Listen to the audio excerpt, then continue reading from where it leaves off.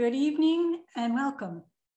I'm Vic Marks, and tonight we continue with the third week of 10 questions, if not now, when? 10 Questions was created as both an undergraduate course and a public program designed to emphasize the public in public university. We want to connect you, our students, and you, our extended community, as we also connect some of the most compelling thinkers and doers from UCLA and beyond. We hope to not only raise awareness of the profoundly interdisciplinary nature of knowledge, but to also extend an invitation to see differently together. It's fitting then that tonight's question is, how do we connect? For those of you joining us for the first time, in week one, we asked, Who are we? Challenging the presumption that I am speaking for everyone when I casually say we. Sometimes the word we is used to assume that everyone thinks and feels simil- similarly, when in fact, not everyone does. In that first week, we also reached for the possibility of becoming a we in ways that can be inclusive of our very different experiences and histories. Can we aspire to become a truly inclusive we? Because there are big projects like a continuing pandemic, an increasingly urgent climate crisis, systemic social and economic injustice, and polarized politics that will require us to care about these things together. It perhaps has never been more important for us to come out of our separate bubbles to support a vision focused on the common good. These are lofty aspirations, but if not now, when? Thus, our second question last week was how do we begin? As in, how do we begin again? How do we set new intentions? Or what on earth do we do now? Well, one thing we can do now is figure out how to connect. I am asking myself to be a better listener, to better align my intentions with their impact, and to reflect on the way my perspective, my perspective, is derived from my privileged experience. Is it possible to build a bridge, acknowledge a rift, reach out a hand, and make friends with discomfort? I acknowledge that I am, and each of you are already connected in a myriad of ways. For example, by being here, you are quite simply connected to everyone else who happens to be here. And that's something. Please take a moment and write your first name and where you're joining from in the chat. Let's do that.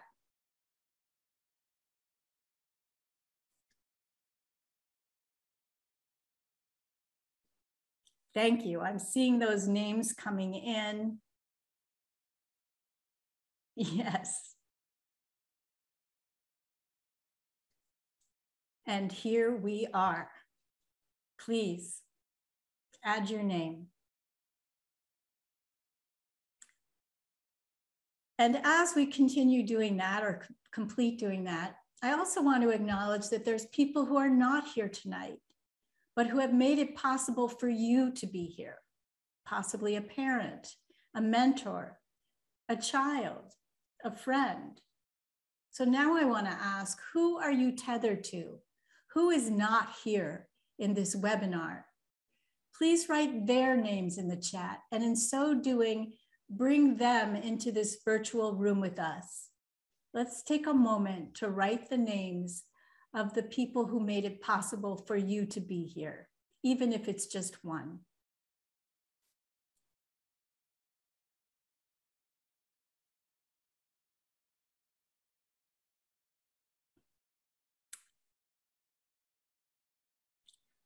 I'm shaking my head because I'm reading, you know, just the collection of parents and friends and counselors and the names of people who we may not know, but who are important to those of us here. Thank you for doing this. Connection. The format for this evening will include a 10 minute presentation from each of our three guests, followed by a very special sharing made by ninth grade students from Los Angeles County High School for the Arts. And I wanna ask right now, ninth graders, are any of you here? Because if you're here, we wanna celebrate what you've done with, with everyone else here. Um, we're going to follow up that very special sharing by the ninth graders with a conversation amongst our guests, and we'll conclude with your questions, which you may submit in the chat or by using the Q&A feature. When we reach the end of our program at or near 8.30 p.m. Pacific time, we'll say good evening to you all. I'm now delighted and honored to introduce our first guest, Morten Bay. Morten Bay is an award-winning research fellow at the Center for the Digital Future and a lecturer in digital and social media at USC Annenberg. He holds a PhD in information studies from UCLA. Morten has spent the last two decades researching emerging technologies and their impact on Western societies from both commercial and academic viewpoints. His current research focuses on political communication on social media and how emerging technology impacts democracy, social justice, and the economy overall. Morten has also been active as a political consultant, advising numerous governmental agencies in the US and Europe, and has worked as a journalist writing feature articles and op-eds for numerous media outlets, Morten, your particular skills and interests are so important to us this evening and well beyond this evening. Welcome. Thank you so much.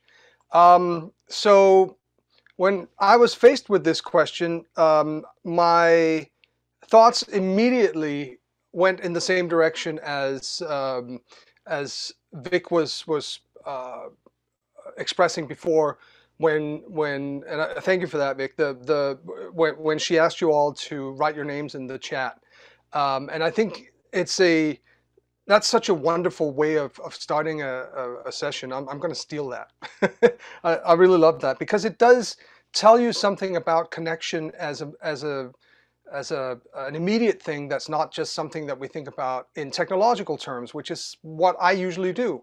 Uh, my normal uh, my normal work is, is all about how uh, connection happens through some kind of tool or instrument. Um, and we forget, which is one of the things I'm going to remind you of, uh, that connection is actually a very human thing. Um, so the question you can, when for me, when I saw this question, how do we connect? Uh, the first thing that popped into my head was to add the word now. How do we connect right now? Uh, in the sense that we might also be talking later on about how we connect in the future. Um, because as we are re-emerging from this pandemic, there's a lot of, as Vic said, said there's a lot of decisions that we're going to have to make about who we are, what we're doing. There, there, there are going to be a lot of new things up in the air that needs to be reconsidered. So let me add this to the conversation. Um, if we look at this image here, I don't know, it de depends on how good your screen are, whether you can see all the, sorry, over here, all the small um, lines here, but this is essentially a big network. Now a network, of course, is essentially a bundle of connections, right? If when we put connections together, we call them networks. This network is uh, a, a, particular network. This is a, a network of uh, Twitter users that are discussing politics and how they connect to each other and form sort of areas in the network depending on their political beliefs. So this is what we normally think of as, as you know, uh, a network today. We think, you know, network, a lot of people say network, social network, social media, um, and, and kind of conflate the terms, even though there's, that's a little controversial maybe. Um, it's, it's especially controversial because we've been studying social networks for a lot longer than we've been studying um, uh, technological networks.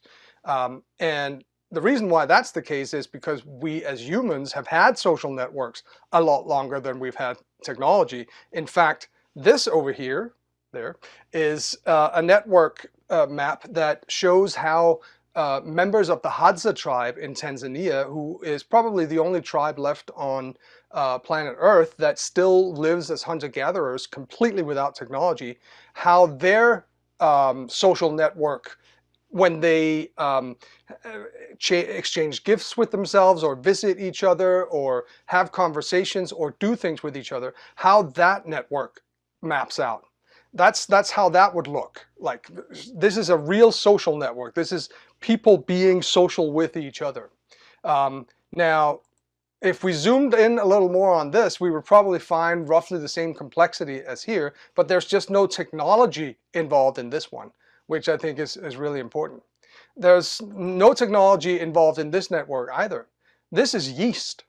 This is essentially the proteins that are in yeast um, and the, the cellular structure of, of some of the main uh, proteins in yeast and the way that they connect together um, it turns out that when we start looking into things like cells in our bodies, we find these networks that look exactly the same as when we are out there in the world as humans connecting with each other.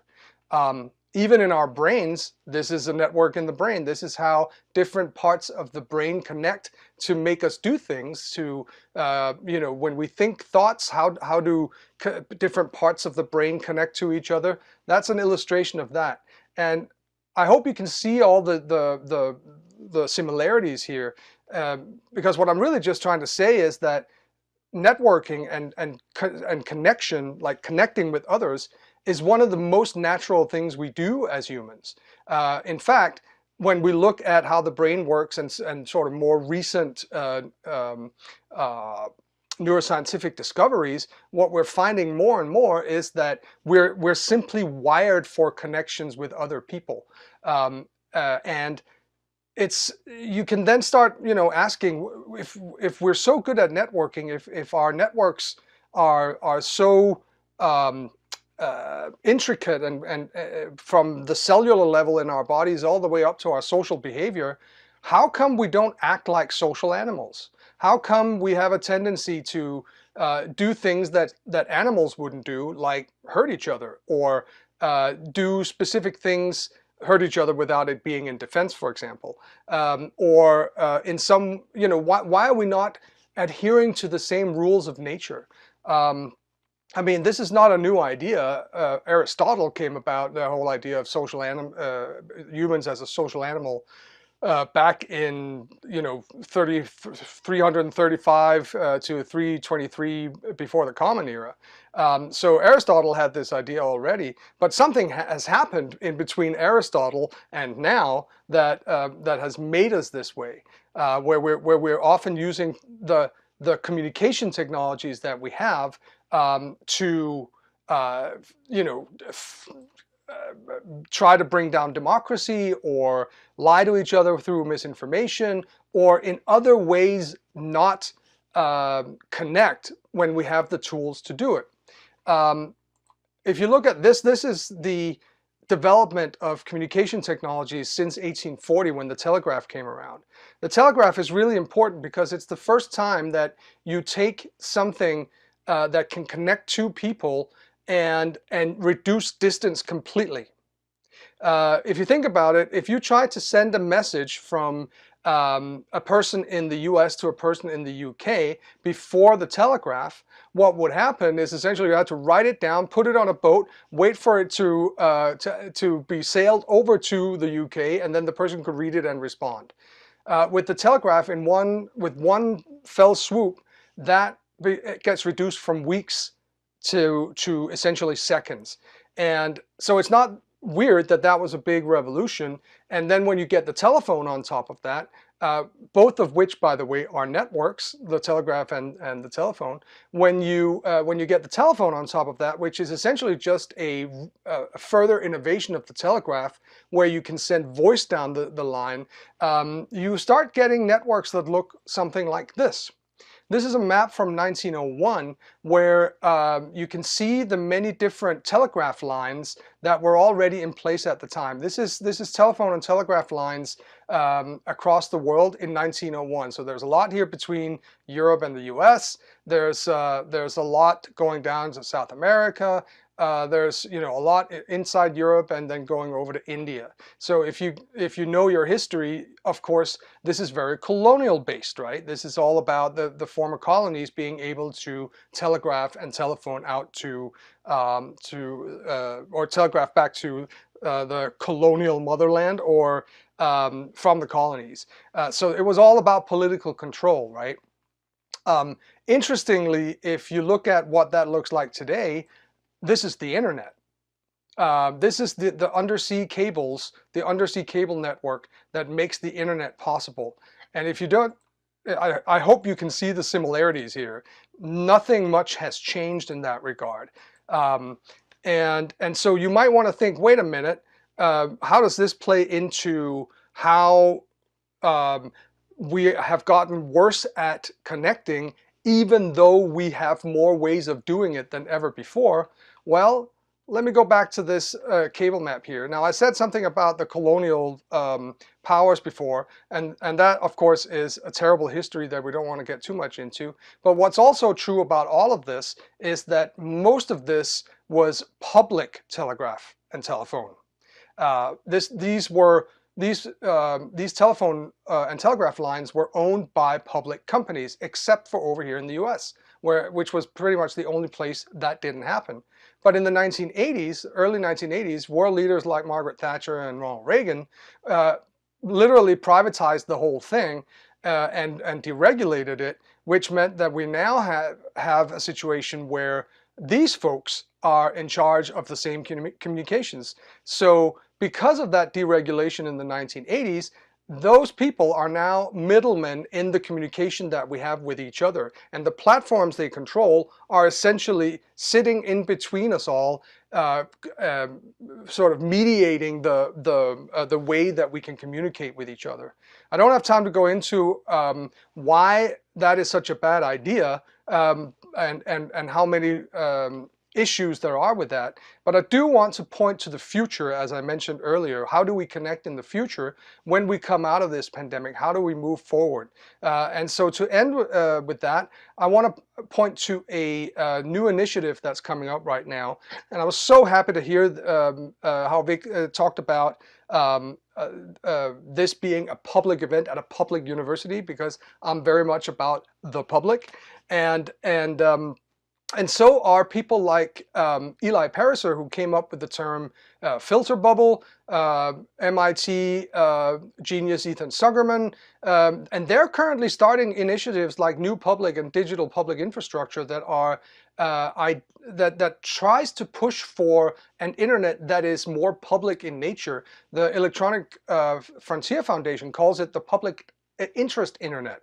Um, and so we can start thinking, can we actually build an infrastructure, an internet, a, a place with all the different content styles and types that we have in um, uh, on the internet now, but that is owned and run by the public. Can we do that? Well, they've done it in Europe for about 100 years uh, through what is known as public service, what was what was uh, before public service broadcasting, and what they now call public service media. So you know, I want to end with that. I want to end by saying this is a uh, we have a, an opportunity right now when we ask the question, how do we connect, to insert ourselves as a community into that question and say we connect with each other through means that we control ourselves. Thank you very much. Oh, Martin, thank you so much here to contemplate everything from um, the very concept of networks as something that you know occurs in yeast yeast samples or in our brains and and and of course all the way to the internet and so on. Thank you for that. And then also, um, you know, just clearly you you thinking about the way privatization has really and, and I and I imagine, you know, corporate gain, individual gain, financial gain has really um, stood in the way of thinking about the common good. Um, thank you. That's a lot to chew on. I hope we're going to come back to talk about that later um, once everyone has presented, but what a great start to the evening, very provocative as well. So Our next guest is UCLA's Vice Chancellor for Communication, a professional communicator, Mary Osako. Mary is UCLA's inaugural Vice Chancellor for Strategic Communications. And in this role, she oversees communications, media relations, brand marketing, the UCLA Content Studio, which is a singular centralized hub for content creation at UCLA, and helps maintain and enhance UCLA's reputation as a world-class public research university. Mary has spent more than 20 years of experience leading complex communications efforts at some of the most innovative Fortune 500 companies in the world, including as Chief Communications Officer of Activision Blizzard, Head of Global Corporate Communications at Amazon, and Vice President of Corporate International and Public Policy Communications at Yahoo. An LA native, and a PR Week 2021 Hall of Femme honoree, like that. Mary earned her bachelor's degree in psychology and a specialization in Asian American studies from UCLA. Welcome, Mary. Thank you, Vic, for that very um, kind introduction. And I also want to just thank the School of the Arts and Architecture for hosting this really meaningful series. And um, I'm excited to learn from my fellow, panelists. So, when I was given this question, how do we connect? I uh, was stumped. So, I did what every modern day person does when stumped with the really good questions and I Googled it. And I have right here what I found when I searched for how do we connect post COVID. And I thought I'd share a few with you. One, join a film or book club. Okay. Two, learn a new hobby with friends like bread baking or quilting. Three, walk the dog. Um, it doesn't say what to do for those of us who don't have a dog, but there you have it. Tonight, I thought I would focus and offer some thoughts of how to connect that may not be on that Google list, but certainly are dear and near to my heart. And it's this share your vulnerability. What does it mean to be vulnerable? Vulnerability is a state of emotional exposure that has some level of uncertainty to it. And, you know, given that, the question is why would this then help us connect? It is my deep belief that the most lasting and profound connections come from those when we have a shared experience, a foundation, and we take that shared experience and we share it and we tell that story and we give it as a gift. And to me, that's when I found, and I think we share the most personal and deepest of connections. And when I think about this moment of time right now in this world of going through and grappling with the pandemic, to me, it's a really rare time when the entire world is going through a collective trauma. The pandemic has really put in our lives and touched every single one of us in a way where uncertainty has been the norm, where we all have a vulnerability that we struggle with, wakes up up, wakes us up in the middle of the night, stays in our minds and lingers there as we say goodnight. And to me, I think it creates and has created a really interesting opportunity to connect with one another our stories of success and joy are definitely worthy of sharing and, and sharing to connect with someone, but also our stories of pain and struggle and maybe some grief. And uh, I think that's really powerful. You know, I think that we all want to be seen as um, strong and we want to all be seen as capable and maybe even admirable. And for the UCLA students out there who are logged on, I suspect this may resonate with many of you, as to be accepted to UCLA might mean that you are at the top of the top of your class.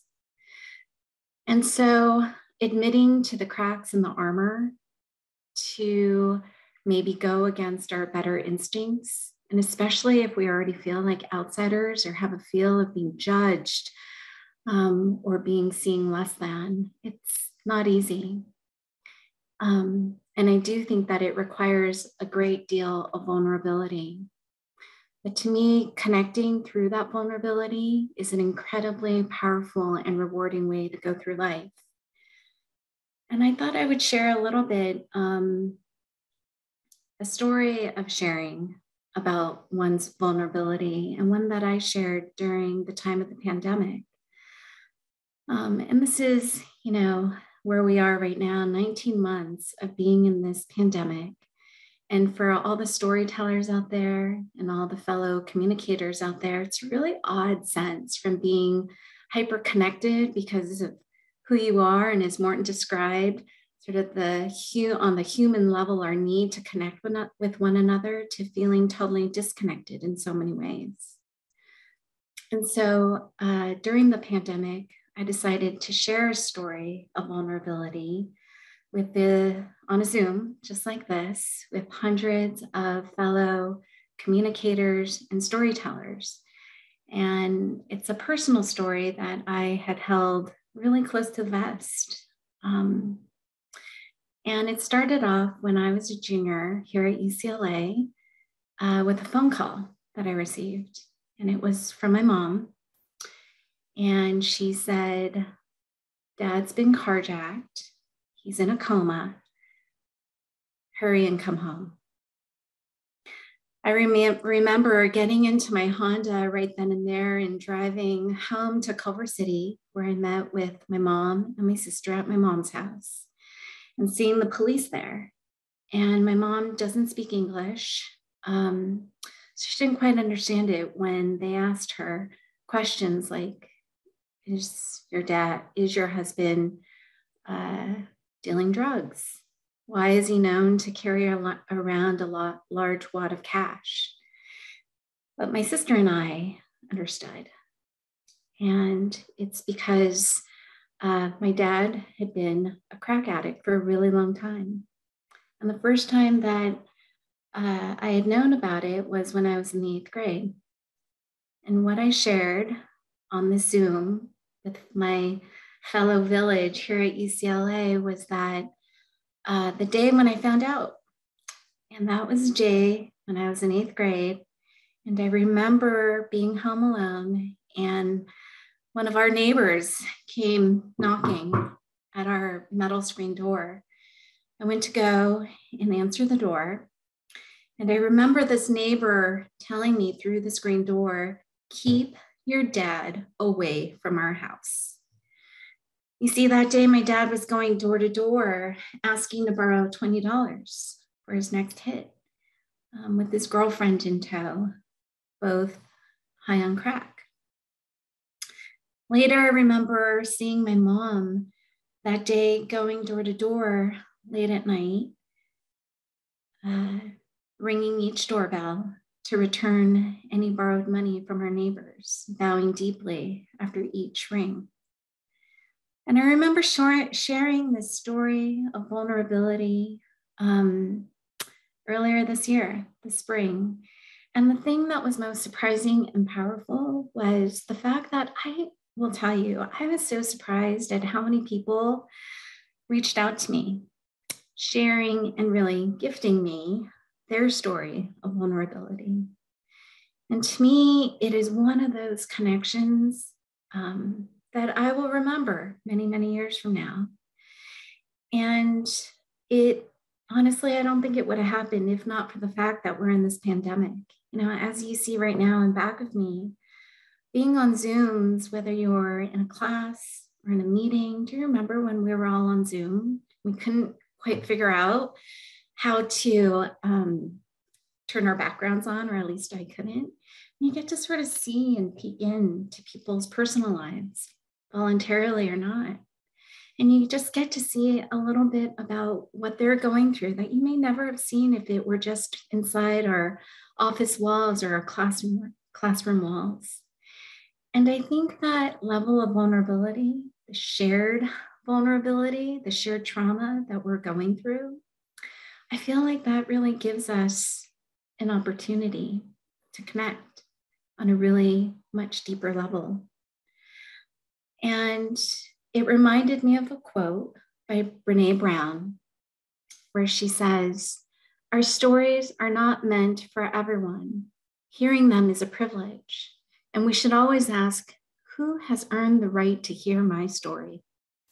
If we have one or two people in our lives who can sit with us and hold space for our shame stories and love us for our strengths and struggles, we are incredibly lucky. My hope as we talk about this big question tonight of how do we connect is that we might connect on a deeper level by sharing our vulnerability, that you may see some of yourself in the stories of others and what their lived experiences have been. And that you may see some of yourself in that. And you might develop even more gratitude for the fact that you may have been spared some of these struggles, that you'll learn to see in others their full and most complex selves. And you might see a little bit more of yourself too. My greatest hope is that it might allow you to be your full self with them. I'll end with one more quote, and that's from James Baldwin, once who said that he used to think that his pain and heartbreak were unprecedented in the history of the world. But through reading and writing and hearing the stories of others, he learned that the things that tormented him most were the very things that connected him with all the people who were alive, who had ever been alive. To me, that's a really moving message of connection and shared humanity. My hope is that we collectively create space to reconnect in a vulnerable, vulnerable way, in a maybe more human way. And maybe being more fully human will mean being more fully alive. Thank you. Mm. Oh, Mary, thank you for your story and for just um, taking this whole question to another register. Um, both registers are important, you know, but I think that um, especially in this time of trauma, to both bear in mind the ways in which we are made designed, I don't know, evolved to network, but also to understand that there are um, there are such deep ways to connect. And actually, when you model that very vulnerability with us, it's an invitation for the rest of us to join you right there. Thank you. Yeah, thank you. Thanks, Nick. Um, I'm going to um, make a, a, shift, and I already feel like the um, the potentials of this evening are abundant or perhaps already being realized. So our third guest this evening is an artist whose heart and clarity of vision constantly inspire me. Luis Alfaro is a Chicano playwright born and raised in the Pico Union District of Los Angeles. He was recently named Associate Artistic Director of the Center Theater Group the resident theater company of the Music Center of Los Angeles County. Amongst his numerous awards and recognitions, Luis is a MacArthur Genius Grant Fellowship recipient and is the only playwright to have received two Kennedy Center Fund for New American Play Awards in the same year. His much celebrated plays and performances have been seen at regional theaters throughout the United States, Latin America, Canada, and Europe. Luis is an associate professor at USC and previously taught at CalArts and in the writers program at UCLA Extension. Welcome, Luis. Hi, thank you so much. Thank you so much for having me. Hello, everyone. Um, it is incredible to be here. And thank you to Mary, who just created some deep vulnerability for me. I just have to say, I keep a neutral background behind me because I'm always working with really, really emotional people. So I should be vulnerable right now and tell you that my background really just consists of a $4.99, $4.99 sheet that I bought from the clearance at Target. And I have a $3.99 lamps. So um, that's my vulnerability. I'm kind of like telling you who I am. Um, I'm so happy to be here and to tell you a little bit about myself. I am a playwright. I am in the business of storytelling, and stories in the theater are based on feelings. So, what I count on most is having emotions, all of them. I welcome all the voices and characters that show up in my head. Contrary to popular uh, uh, popular thinking, I'm not always crying and I'm not always talking to myself. Well, I do talk to myself a lot, but I, I do sort of tend to control my emotions. But I do count on language and movement and I also count on the depth of space. So theater is where we feel emotion and the body in, in an open space, the 3D of space. An actor on stage is composed of mind, body, and spirit. The ingredients for making our work, as provided by the visionary playwright Anne Bogart, are passion, point of view, and craft. Passion, desire, point of view, opinion, and craft, technique. I was born and raised in downtown Los Angeles in a very crowded, poor, and violent neighborhood, as you just heard, known as Pico Union. I was raised in community, which is to say that all of the mothers in my neighborhood raised us, they fed us, and I see myself constantly in the communal. I live in Koreatown now, Koreatown is one of the densest neighborhoods in the entire United States. So uh, 46,000 residents per square mile compared to the average 7,000 per square mile in LA County. 95% of the people in Koreatown are working class people who rent rather than own. So as you can see, I never ever work alone. Uh, there is a collaborative sport in the theater where I work with the director, a producer, designers, among others, but most of all, I work with actors. Actors take my language and they translate, they interpret, and sometimes, if the alchemy is right, they channel my work. Change is the only thing that you can count on in the theater. In order to do the work of art, you must be willing to change. Every play is a new experience. Every play is a new beginning. Every play must start clean and new. So I constantly go through a kind of depressing cycle of saying goodbye to all the people I just fell in love with with the last play and move into the new experience by changing.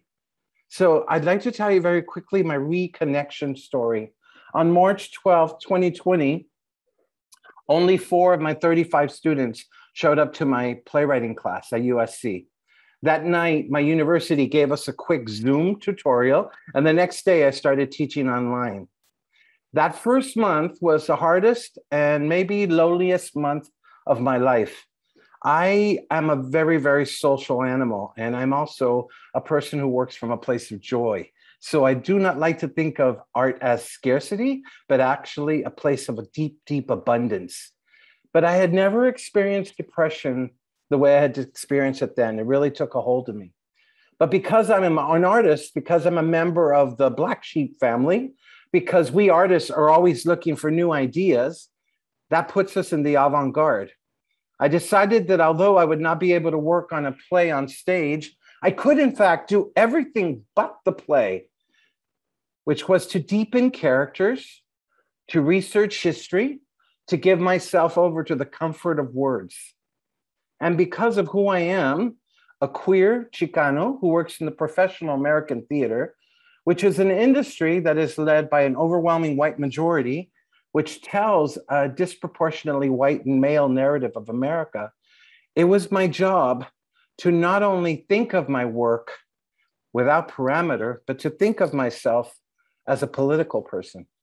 So everything I do in my life and work as a citizen artist is not just for the pure joy of the art, but I believe the art is the way that I create change in the world. Art is the way that I make a shift and a change in the way the world can see itself. So, all of my work is actually a series of questions. Every play begins an inquiry. I start every play with a larger question about the world, something that I'm obsessing with, something that I've been thinking for a long time about. As an example, in the last 10 years, I've been doing a series of uh, adaptation of Greek classic plays. One of them, Oedipus El Rey, based on Oedipus the King, it tells the story of the California prison system. So I read somewhere a fact that said that more than all uh, half of all young men in a California prison, uh, 17 to 24 years old, will return to prison at least once in their lifetime. The recidivism rate, the return to prison rate. Uh, and then I moved on to uh, Medea. And in my Medea, I'd read a, a, a fact that said that more than half of all women who cross the southern border undocumented into the United States are assaulted, usually sexually assaulted. What a price to pay to come to this country. So each of these questions feeds a larger question about the world. But more than that, it feeds a larger question about drama and about conflict and about the complication of the human condition. So when COVID hit, I was very depressed and I was uh, very lonely because I was in this darkened space and I was doing my best to avoid everybody in my very, very crowded neighborhood. So I'd get up at five in the morning and do a walk around the local park. And then I'd get up again around 11 at night and do another walk just to get my physical life together. But it, what was really happening was that I was feeling like the world was closing in on me and something needed to shift. This is what shifted. In the last year, I have visited over 57 classrooms around the country. I started to take trips to Canada. I went down to Latin America, and then I dipped over to Europe. Sometimes I wake up at three in the morning to work with the student in Shanghai.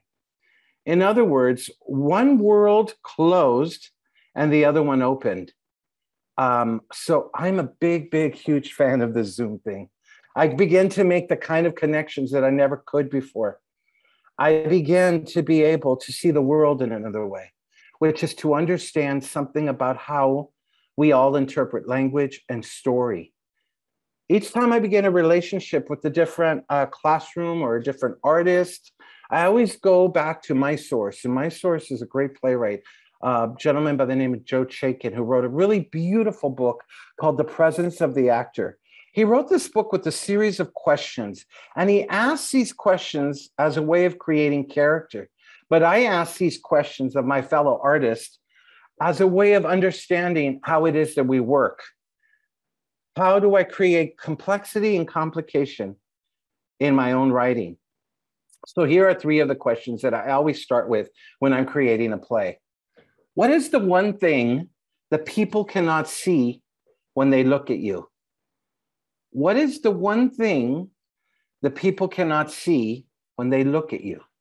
Sometimes, if I am afraid to be vulnerable, I'll tell you about the little mole in the back of my neck.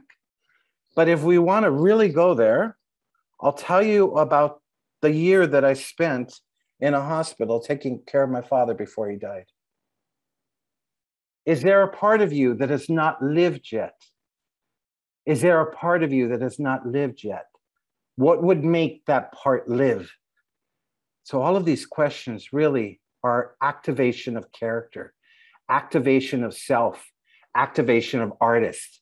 And slowly, through this last two years of reconnecting in this little box with all of you and with hundreds of thousands of people around the world, I have become all the things that I used to be playwright, teacher, producer, caretaker, public parent, citizen artist.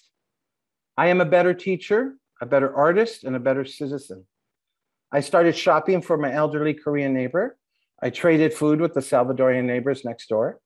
And I changed almost every single part of my practice. The way I teach is not the way I used to teach.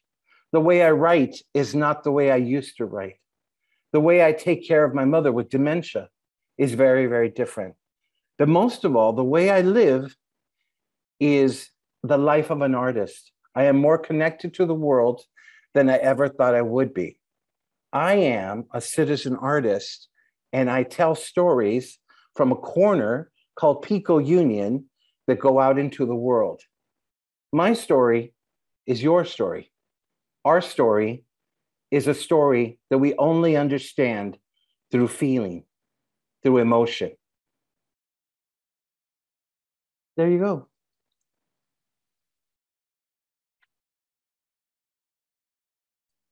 Okay. Wow, Luis, thank you. Um, a, a, lot to unpack there, but as you were as you were speaking to us, um, I was thinking about the way change truly is at the centerpiece of your work. That what you've told us about the pandemic was also about your responsiveness to change, and in in a sense that um, I think we tend to say, how do we connect? There's a fixed answer to that, you know, like we need to know the plan, like walk our dog if we have one, as as Mary reminded us. But but in fact, I think what you're saying is also connect to nothing as you connect to everyone else. Do I have that right? Yeah, I think you're right. I think we connect in the void, right? Um, what I'm interested in is people, of course, always your complicated story, right? Your most complex self. But it always starts with hello, who are we? How much of myself am I going to expose in this moment? Mary's story right now took me somewhere completely different, right? I am in now in the global of stories, right? Where I might have been in the local, I've now uh, entered into feeling and empathy and compassion. And that is all the theater teaches us. When we go to the theater, we learn how to be better people because we engage in empathy and compassion. What a simple idea, and what an incredibly complicated idea, too, right? Yeah, thank you, Luis. Um, onward. Um, so, onward meaning that before we shift to a conversation amongst our guests, here is that special project I've promised. The 10 questions team has been collaborating, i.e. connecting, with Kevin Kane, director of UCLA's Visual and Performing Arts Education Program. Kevin, another longtime Angelino, has been working primarily in the realm of community arts with a particular curiosity and passion for creating arts programs in K through 12 settings throughout the LA area. I'm delighted to introduce Kevin Kane.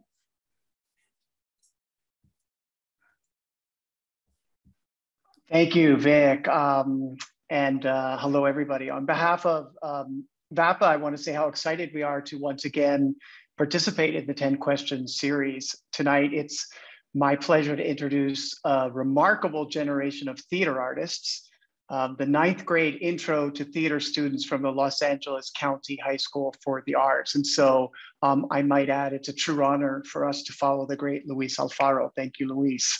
Um, tonight, these young students uh, also respond to the question, how do we connect? And um, for those of us who might forget exactly how old a ninth grader is, um, these are 13 and 14 year olds. Um, and please bear in mind, um, like all students, these students spent the majority of their middle school years in their solitary home spaces, studying entirely on Zoom, which proves quite difficult when it, the subject you care most about is theater. So it's particularly wonderful to see them back in person, albeit masked, studying the art form they're most inspired by, exploring ideas of connection, both intellectually and kinesthetically. So to make this video, the students and I um, started with a group conversation about the nature of connection in the arts and in life. This led to reflective writing prompts answered at home via self-tapings. It culminated in a full group filming um, project on their campus, capturing the games and activities that are helping them feel the rush of social contact, touch, group collaboration, experiencing a kind of joy that's only possible when we are connected again in the same space at the same time, together in community. What exactly we didn't have the last year and nine months. Um, before showing the video, I want to thank our amazing VAPA videographer and editor Tigran Narcissian for his skill and um, patience in shooting this project. Tigran and I have edited it together in an attempt to represent all of the students' ideas about how and why the theater helps them connect and reconnect to themselves, to others, to their communities, and to society as a whole. Um, also, I'd like to um, thank welcome and congratulate the LACHSA students, the ninth graders that are in the room um, right now. I see you. I looked at the participants list. It's a joy to have you here. I hope some of your families are sitting by your side and can um, also participate. Um, anyone from the theater department at LACHSA, it's a great home to nurture the new um, generation of theater artists. So we're happy we're, you're with us tonight. Welcome to UCLA Arts and let's show the clip.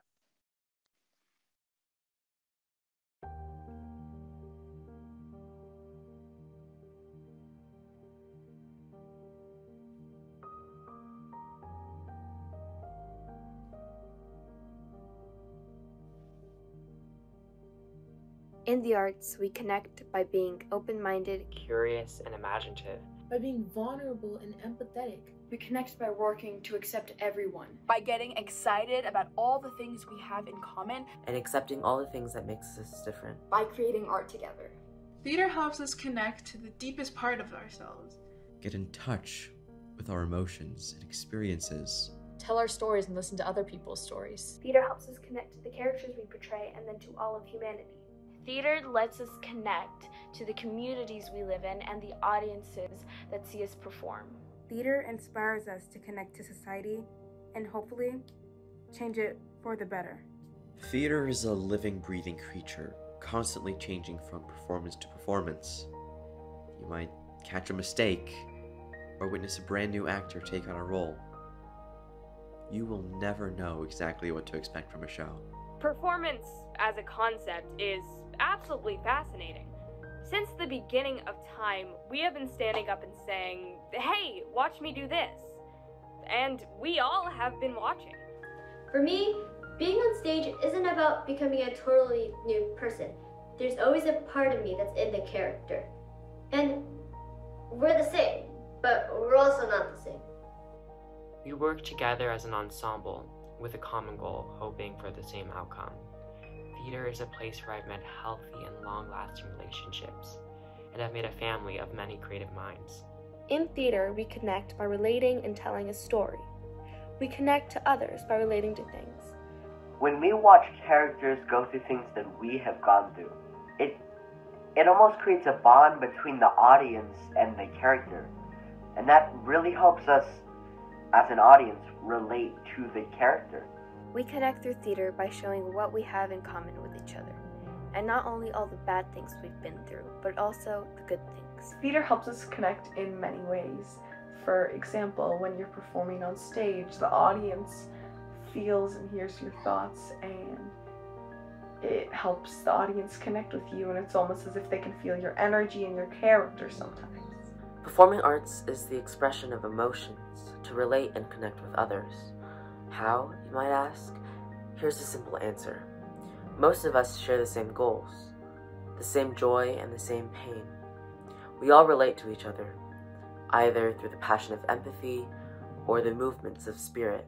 Theater helps us connect in so many ways, whether it has to do with relatability or a connection to your role, or even if it just pulls you in because you're so curious and interested. In theater, people could be witnessing the same thing but have completely different perspectives on it. That is an example about how theater can be so much like life. One of the reasons why I chose to devote my time to theater is just because of how fun it is. Never have I connected with people in such a unique way than when I am on stage with them. Theater is sometimes a big step out of my comfort zone, so I have to find a way to connect and make myself feel more comfortable and confident. In my arts classes, I feel free and open to be who I am around all these people I know would never judge me for it. Acting is a way to express yourself mentally and physically. I connect to theater by learning my character, seeing how my character thinks, acts, and my character's body language. I think we connect in theater by using our five senses. We smell the space around us, we see each other and people's reactions, we hear what our partner is saying, we touch when our partner needs support, We speak to communicate ideas. We taste what the air tastes like. We sense what it means to be here in the moment, being present in the environment.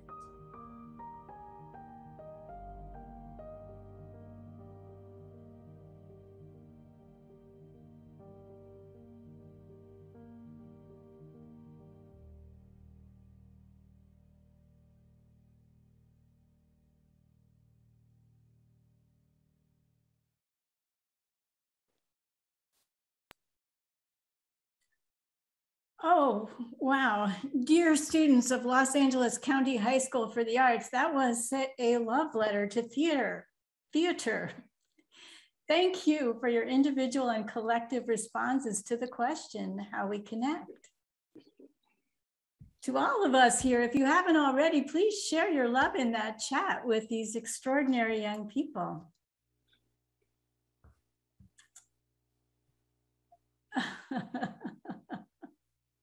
I'm reading. That's why I'm laughing. I'm happy. I feel joyful. Um, so I, I, think that um, those ninth graders over at LACHSA and Kevin Kane probably just deserve a little bit of our love right here on this screen. Um, just let's take a moment to appreciate that work.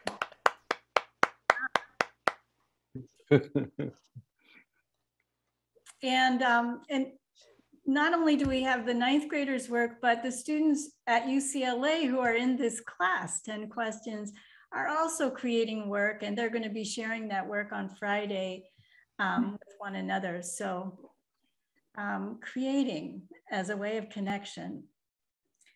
Um, so just as we begin our discussion, I feel like we have touched down in so many places from the great macro sense of the way we have evolved to connect and the kinds of things that that sort of create disruption and stand in our way to our individual vulnerability and then also to the occupation of change making through theater through telling the stories from i love that from pico union to the world from you know from medea to to the individual women who are crossing borders and dealing with the trauma of a, a world that is quite cruel. Mm-hmm. Um, so let's just take a moment. I'd just love to hear your thoughts on, on where you are with the, the largesse of this evening. What got said that, that is going to stick with you?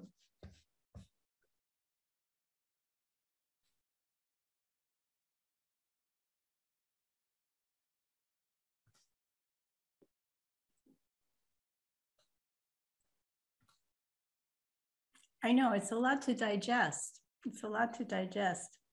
Well, one of the things that I'm I'm sitting with right now is just the way that um, we might tend to think of, you know, I shared my vulnerability and now I did that. Um, or I can talk about networks and so now you know about networks, but in the context of the only truth is change, Octavia Butler, um, let us let us also be aware that this moment is coming and going all at the same time, and any any answers we have for this moment of how do we connect is also um, you know one, answer one moment in our our lives. And and maybe it's an opportunity for for each of you to talk a little bit about what you see as how this is changing for you. And I'm also, oh, I got to see stuff in the chat that looks fabulous, but please, let's just jump in.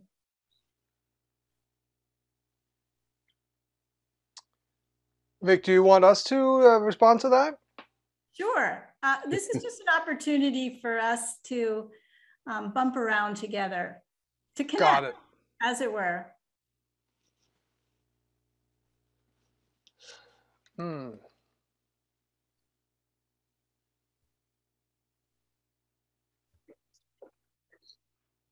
Well, maybe I'll jump in and just say, you know, when we think about human emotion, I don't think about it until tonight the way Morten explained it, right?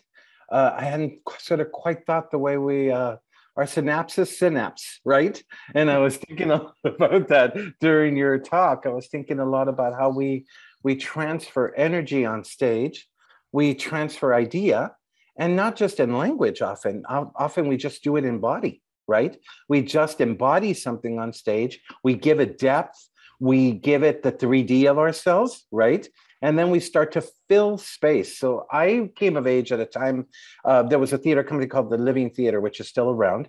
And there was a kind of motto that we used a lot, which is move towards the space that needs you the most. So that's really sort of been my political sort of point of view too. Uh, let me move towards the space that needs me the most, which is not always my own people. But my own people are very many people. Los Angeles is the space that needs me the most right? So I was just thinking right now when Mary was talking, you know, not just in region, but also a need and want. And um, that's something we forget about a lot. What is the need and want of how systems are built, but how people connect, which is so, so important. So the theater is built on your desire to want to see yourself expressed, to want to feel yourself in, in someone else's story. What an amazing idea right? And so when you talked about vulnerability, I was like thinking, wow, vulnerability is so hard, but isn't that what we do when we go to the movies? We sort of suspend everything, right? It happens when we go see dance.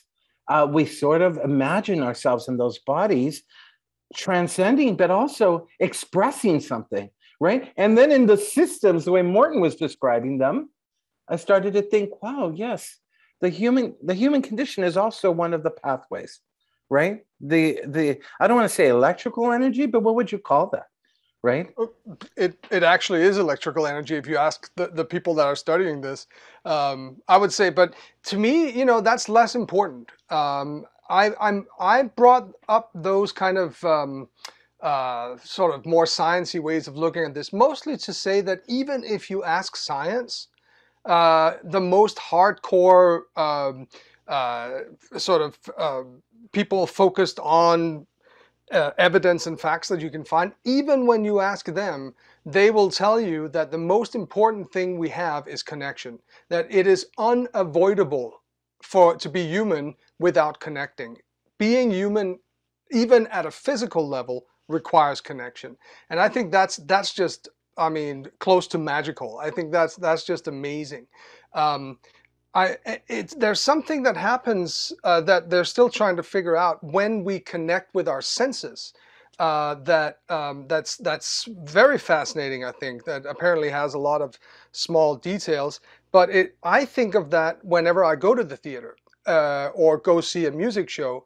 Uh, I actually used to do a little bit of theater uh, when I was younger, and seeing these uh, ninth graders reminded me of I, I, used to be a drama teacher for uh, like four years or something long ago and and seeing these um, uh, ninth graders just brought me back to that and seeing the remembering how over the course of, of a few months you can see students blossom and become different humans throughout that whole process. So uh, I, that is one of the most beautiful things that I've ever done in my life. But my point is that whenever you go to see something live, uh, whether it's music, whether it is dance, whether it is theater, um, it is always different than, than film. And I am a massive film nerd, but it's always different because you have the uh, ability to connect with real humans. There's a different energy in the room.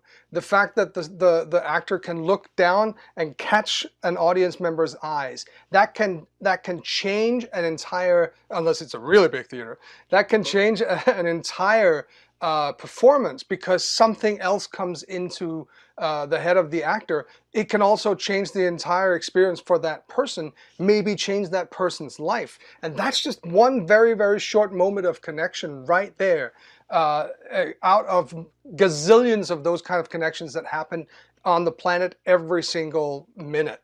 And so, so to me, it's just, that, that, that element of human connection, it's so much of what we do with our lives that we need to make sure that we have all the, the, the, the pathways to those connections cleared and, and, and made fair for everyone and made accessible for everyone. Mm. You know, from the the students, the ninth graders in the video, there were a couple of things in there that I thought I will think about um, when I go to bed tonight, and I'll think about again when I wake up. One of the young women said something to the effect of um, being vulnerable, sharing a story, being in theater. Um, sometimes you have to get out of your comfort zone. So, what she does to refuel is do something that is in gives her comfort. And I just thought that that was so beautiful.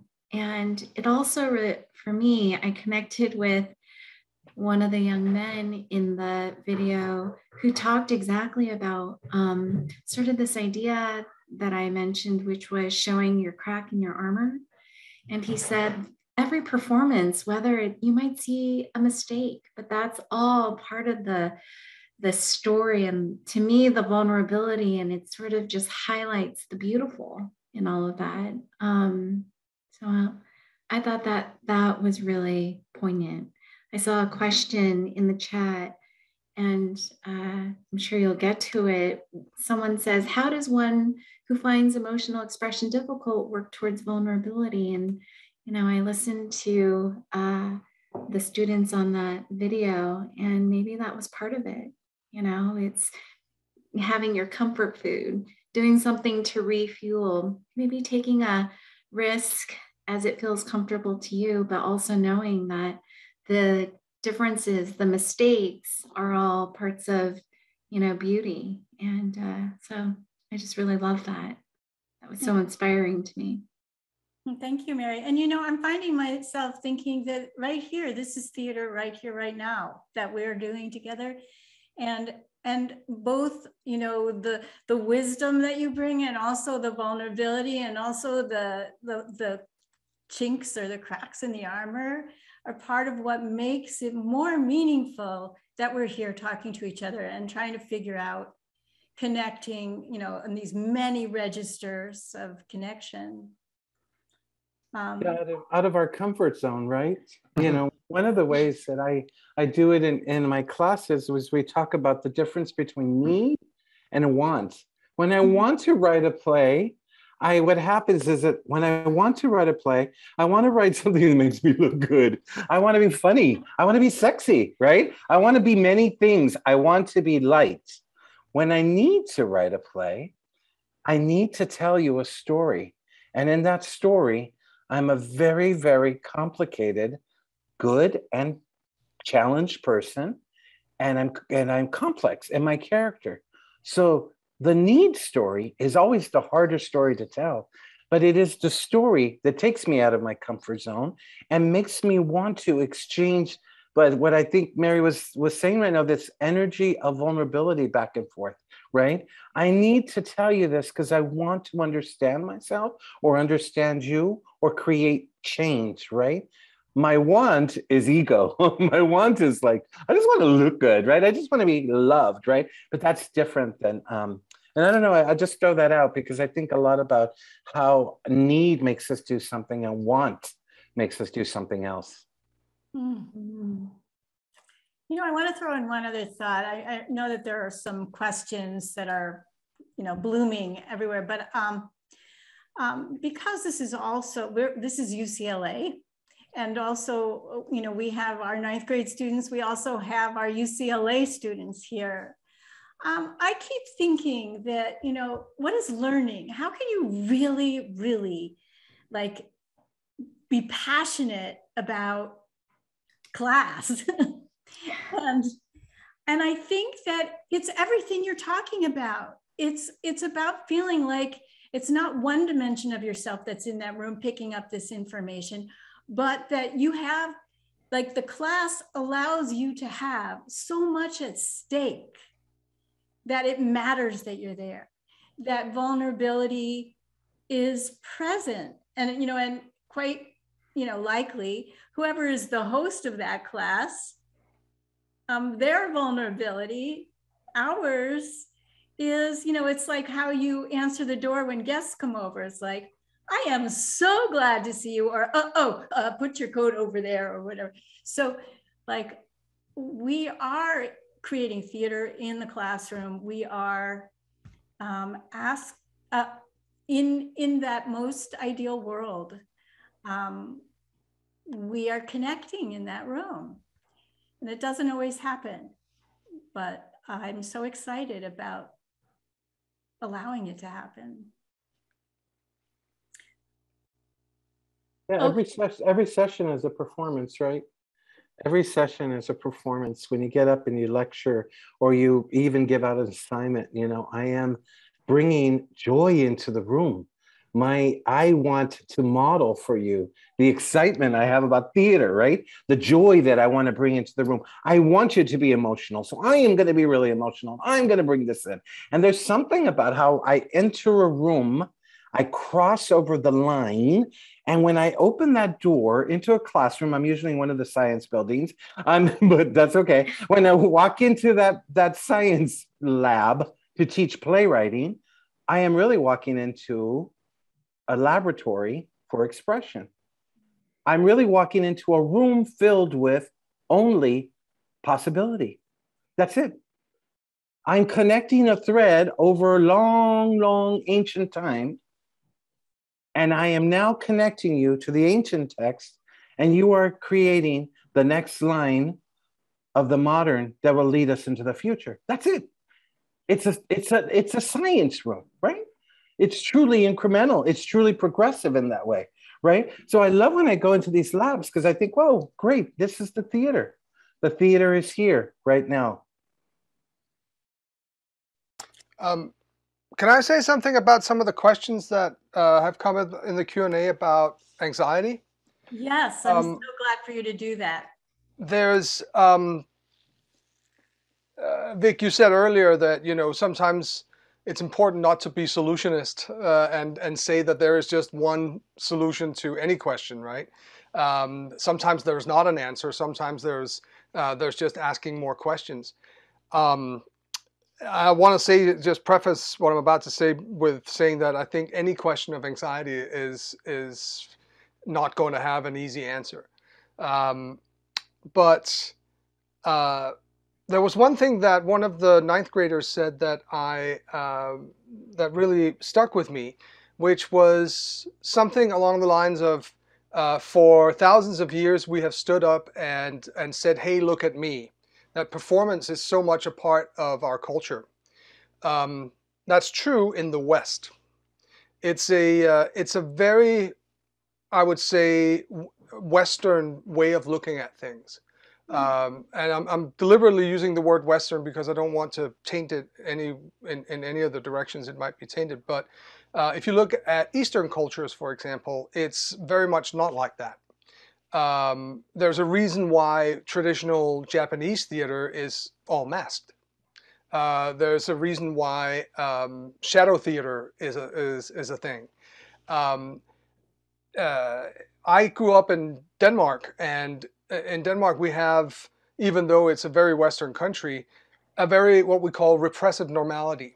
Um, you do not shine a light on yourself. It's just seen as arrogant, even if you if you say anything that might be self-congratulatory. Um, it's and and though we of course have great theater in in Scandinavia and all that, um, that I, I know that sensibility, and I see it in a lot of my students from uh, from East Asia, um, uh, but on steroids uh, I see them coming in and having real uh, speech hesitancy, uh, real fear of speaking up in class at a, at a level that's, that's maybe too loud. Um, and, and I think, uh, I think it's important to acknowledge that. I think it's important when we, when we are uh, discussing how we can express ourselves as human beings and thereby create connections that there are people with serious inhibitions in that regard, not just because of culture, but also because of neurodiversity. And um, I don't have an answer to that. Um, I uh, have struggled with it myself at one point, but theater actually helped me, believe it or not, uh, uh, uh to get over that. Um, the, that's that's like a trial by fire. Sometimes that's not for everyone. Um, but it is something that I think we need to be more conscious of. That uh, that um, it is not easy for everyone to speak up, um, uh, even though we may assume so. Mm, thanks so much for for bringing that up, Martin. Um, and I just just to to stay on that theme a moment longer. Um, you know, uh, Mary, you talked about the trauma of the pandemic, of really being isolated. And I wonder if we could just spend another moment just uh, with the question how do you overcome social anxiety after being used to not connecting in person due to the pandemic? And again, I, I, I know Morten said there isn't one answer, but, but um, let's, let's, let's get a lot of answers. Yeah, let's do that. let's do that. I'll tell you for myself, um, you know, this is something that uh, I experience as well. Um, I loved hearing when Luis talked about wanting that connection and, and craving social interaction. And I loved it because I am the opposite and um, you know and it's really uh, i always find it to be interesting where i'm a professional communicator um, and yet i am very comfortable being by myself and binge watching tv all day or whatever it is that i do. And so for me when i was thinking of this connect uh, this question how do we connect? It was really about how do we reconnect? And feeling that social anxiety um, I don't think there is one answer, as Morten said, but the way that I've been um, trying it out and trying different jackets on is um, slowly, slowly and surely, and giving myself a little bit of a break, you know, and as anxious or uncomfortable as I might feel and socially awkward, you know, that when you're at a dinner and you're so focused on making sure the conversation is flowing and making everyone feel included. And it used to be second nature to me. And I went to this dinner and I just felt so socially awkward and started staring at my thumbs. And I thought, you know, it's okay. Just cut myself a little bit of a break um, because we all sort of deserve it, you know? And I felt like you're here. That is a collective feeling and a sense of maybe collective compassion we're all having for one another. So I don't know how to solve for it outside of the only thing that I was able to sort of control myself, which was not my awkwardness, but um, just being, you know, maybe a little kinder. It's all right um, to feel that anxiety. Thank you for that reminder, Marianne.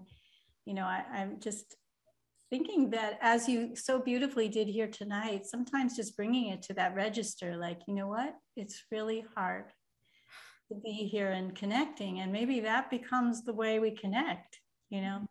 I want to just, there's one other question. I see our, our time is waning, but um, one, I think that's very important for us to spend a moment with, which is um, trying to connect with people that you can't really communicate well with. And this person suggests whether it's a language barrier or a different culture, but I just want to bring up the really big, maybe it feels to me like an elephant in the room, um, a lovely elephant in the room, which is, you know, when it's really, really hard to connect and the work is to connect, how do we do it? And, or, you know, how each of you in your own careers, life, work, this must come up frequently when it's really, really hard to connect. And it's not any longer about the personal anxiety, but it's the social that sits there and is a challenge. So we just dip our toes into that? Sure, it's it's really hard. I will say that you know um, I'm going to preface this by saying something that happened in my class last week. So my students started bringing in less pages to their plays, and I was really concerned. So I stopped everything and I said, in one word, just tell me what you're feeling right now. And the words that popped up were anxiety, exhaustion, depression, worry, right? All the stuff that we thought we had gotten over in the pandemic, we're still in, right? We now are back on ground, and actually, none of those feelings have actually gone away. And so we started working very, very differently. And this is very hard to do, but it's the thing that I think I do a lot. Uh, myself because I find it difficult to meet people, but I'm un, my job is to be out in the world doing this, right? So one of the things I do is I always say to myself, the only thing you have going for yourself right now, Luis Alfaro, is being honest and being authentic. So if I was radically honest and authentic right now, I would say that I have spent a year and a half in grief and loss. Mm. Right? I caretake a mother with dementia. And rather than denying that part of myself, let me bring that into the room with me. That authenticity, that honesty of who I am, no one will ever turn away from who the authentic you is. Right? So I feel that that's one of the ways I jump 10 steps in my playwriting. It is the way that I get to work in a lot of boardrooms and all that stuff, right?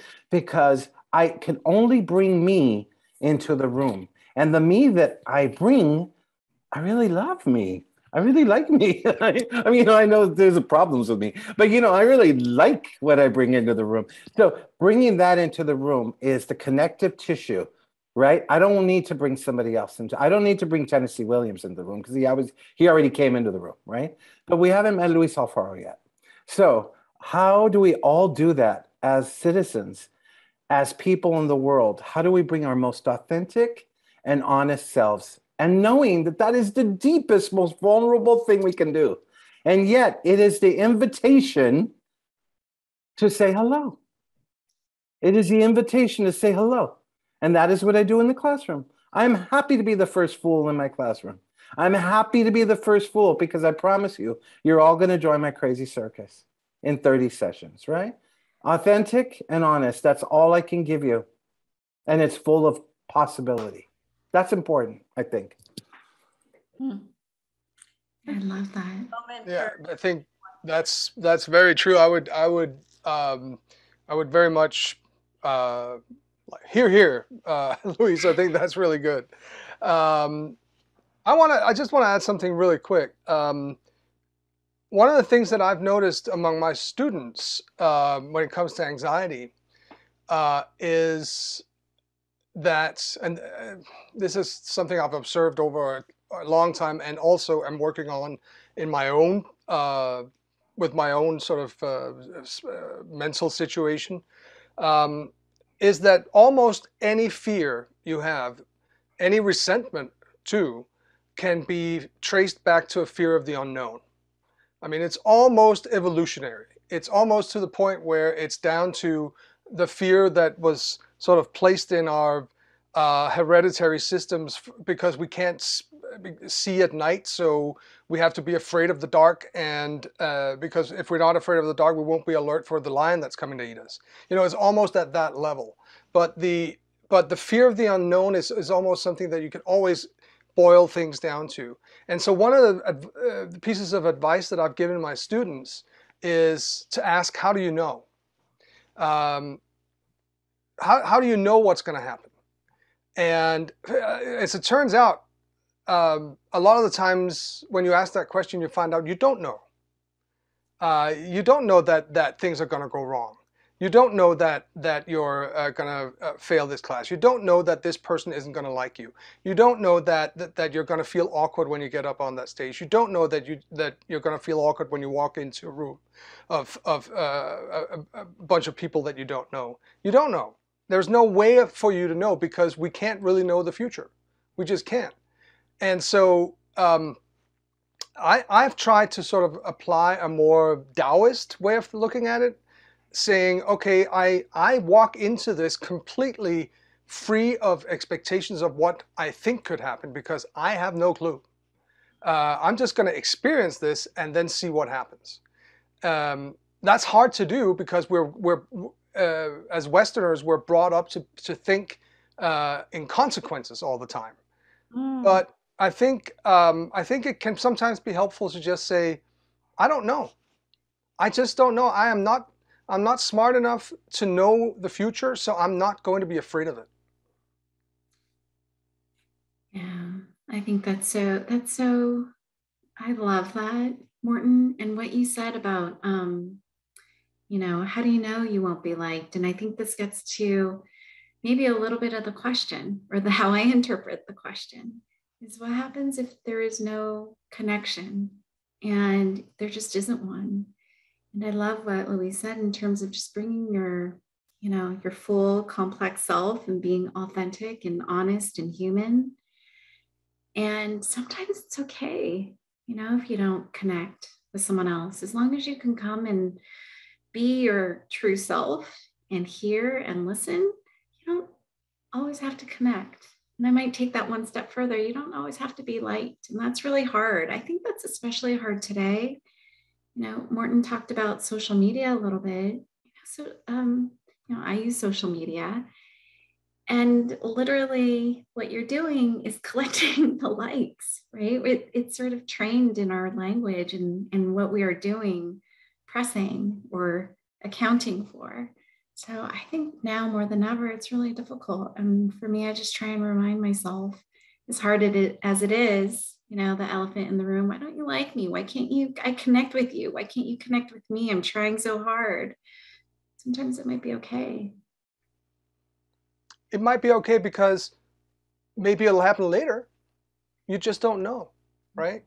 And maybe it's a good thing that you can't connect to this person. Maybe that person turns out to be a psychopath. You know, I mean, it's it's uh, sometimes you got to trust the universe in that mm-hmm. regard. I really, I really firmly believe that. Um, I'm going to jump in here. Um, I'm thinking to myself, boy, do I have issues with not being liked. I'm really trying to learn how to be okay with that. Um, um but that aside, um, I would like to ask you each, um, I'm going to take this a step further. How do we connect with people who see the world very differently from us and I suspect that in each of your different worlds that you mostly operate in, you have to deal with people who, or not deal with, you are with people who see very differently from you. And maybe there's something you want to do. How do you, how do you make that connection with people who see differently?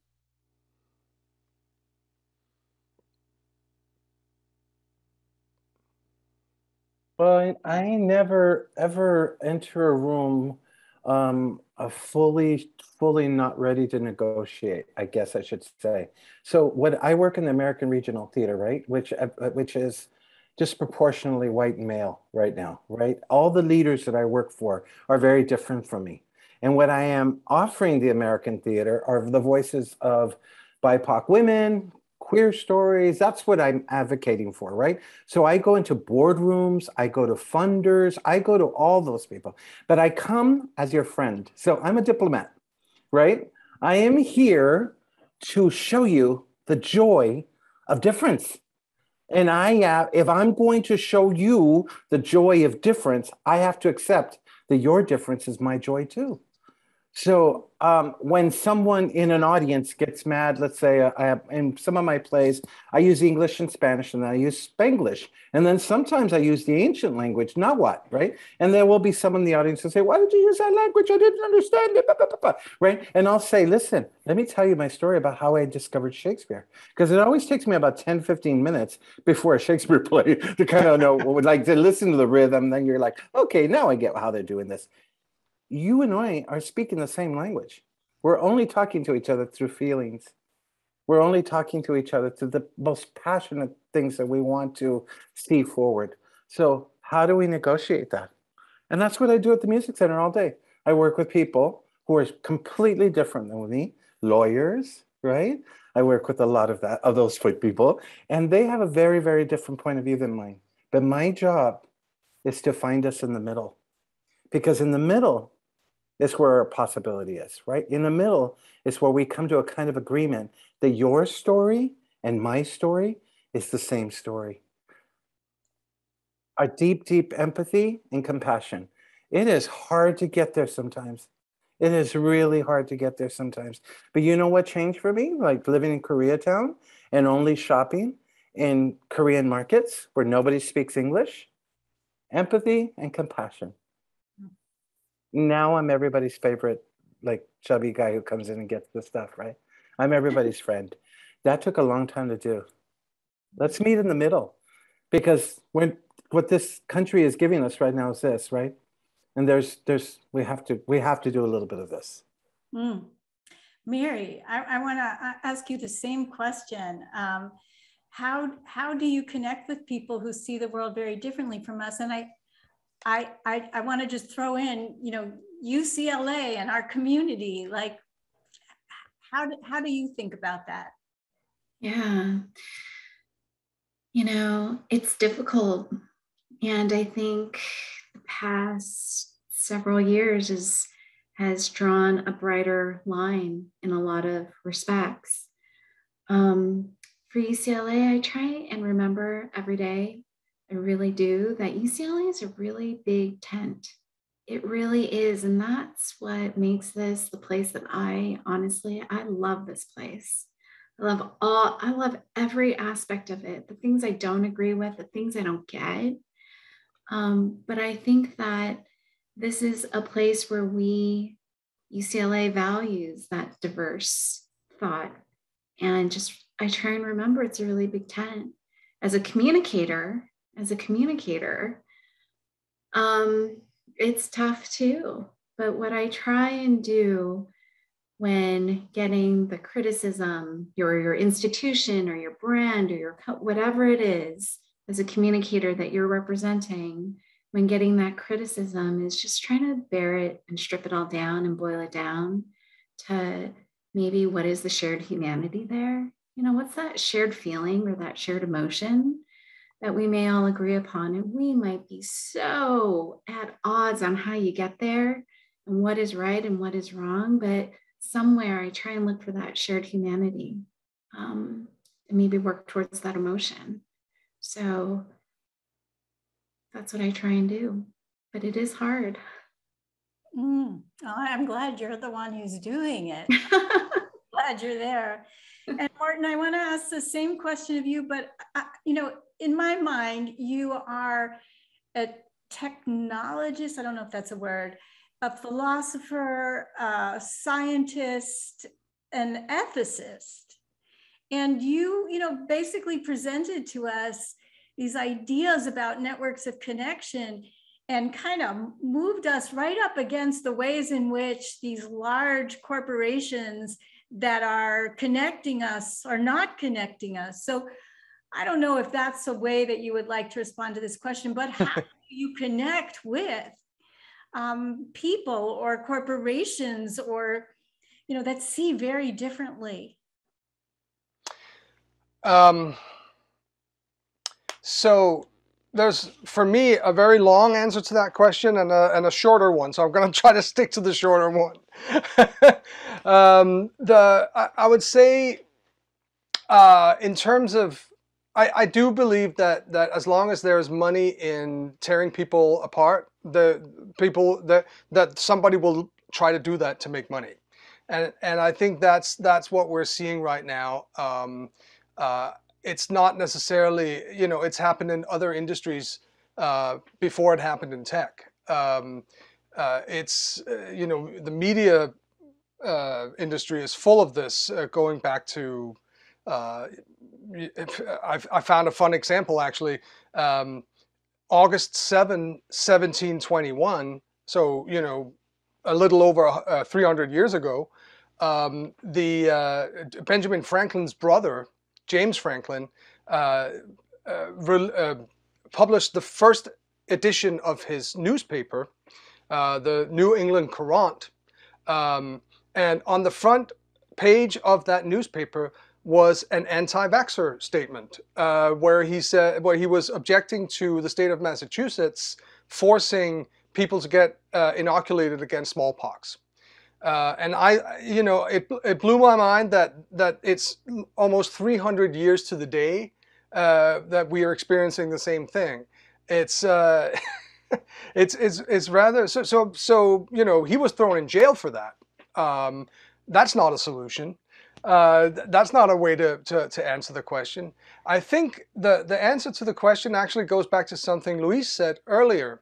Uh, Luis, you asked, uh, what is it that you can't see uh, when you look at me, right? I, I, I, I, was absolutely certain that your, that your response, rather than the mole, uh, was going to be pain. Um, I believe every single person carries pain and uncertainty. Every single person. The people who don't are psychopaths, maybe more like sociopaths. I'm joking, of course, but um, uh, most people carry um, pain and uncertainty.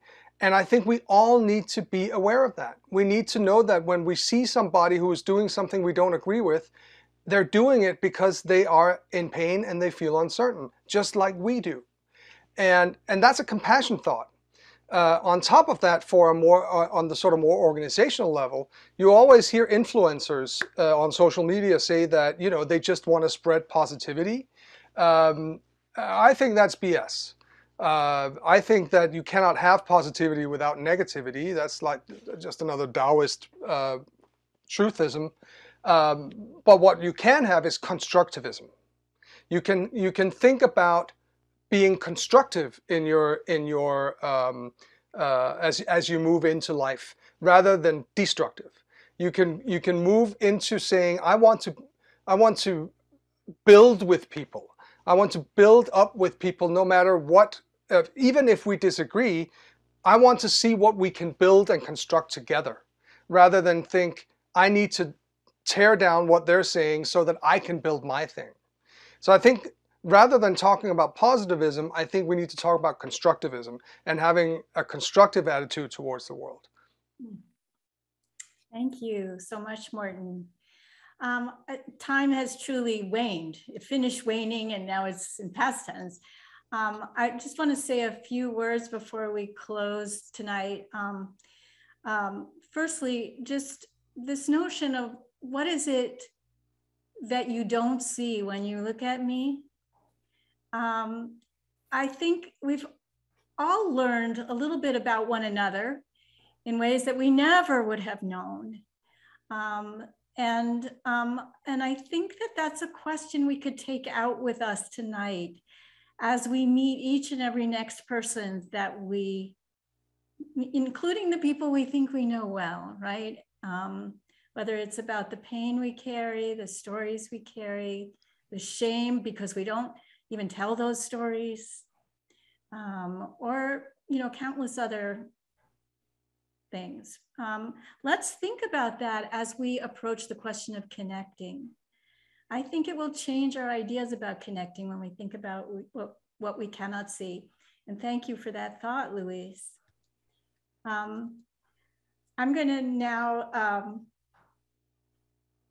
um, just remind students that um, tomorrow before 5 p.m., please post to the forum. We're really looking forward to the ways in which you're responding to the public conversation, your own musings, and connections. And, and we hope you'll, you'll do that by, by sharing your vulnerability um, because that invites, as we've thought about tonight, that invites others to do the same.